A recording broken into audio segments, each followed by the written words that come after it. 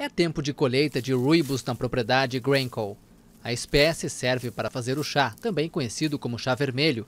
Os galhos são cortados à mão antes de serem empacotados e secados. O mercado internacional desse produto cresce a cada dia. As exportações quadruplicaram nos últimos 13 anos. O arbusto vermelho é popular por seus benefícios à saúde, bem como seu sabor, mas ele só cresce nesta pequena região no oeste da África do Sul. O arbusto cresce selvagem aqui. Se você subir a colina e descer pelo outro lado, você vai descobrir que a espécie só nasce neste lado. Poucas plantas conseguem sobreviver neste terreno seco e arenoso, mas os arbustos de ruibos se desenvolvem com facilidade em simbiose com micro-organismos do solo. Os agricultores tentaram levar a espécie para a Austrália, América e até mesmo para a China, mas não deu certo.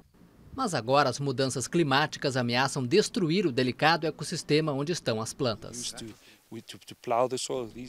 No passado, arávamos o solo. Hoje em dia, evitamos isso e mantemos o material sobre o solo para atuar como isolamento, basicamente para preservar a umidade. Mas se as temperaturas continuarem a subir, agricultores como Willen vão ter problemas. Especialistas em alterações climáticas alertam que essa região será duramente atingida nos próximos 100 anos. A plausible scenario um cenário plausível é a temperatura subir mais 3 graus na região. Esta área é muito seca. O quadro geral que é pintado para a costa da África do Sul não é muito positivo.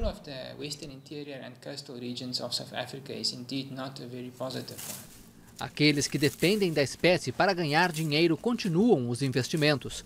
Nessa área crescem arbustos suficientes para 4,8 bilhões de xícaras de chá por ano. O negócio com chá de ruibos está se desenvolvendo. A dúvida dos agricultores é saber por quanto tempo.